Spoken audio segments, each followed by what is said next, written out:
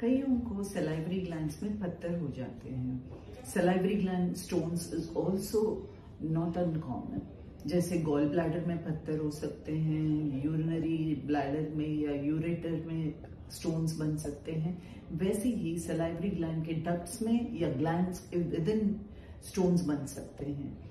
और ये अक्सर क्या होता है पेशेंट कुछ खट्टा खाता है या खाते समय दर्द हो सकता है या स्वेलिंग हो सकता है, इन रीजन में, जैसे अपर नेक में स्वेलिंग हो सकता है या दर्द हो सकता है एंड इसको सेलाइवरी कॉलिक कहते हैं। इसको ठीक कर सकते हैं अल्ट्रासाउंड करके स्टोन्स देख सकते हैं। कभी कभी सीटी या एमआरआई का ज़रूरत पड़ता है ग्लैंड एनलार्ज है या सिर्फ़ डक्ट में कैलकुलस है सो so, इसके बेसिस पे हम इलाज कर सकते हैं। वो स्टोन्स निकालने के बाद डिजोकॉल साइलोलिट्स उसको निकालने के बाद बिल्कुल ठीक हो सकता है।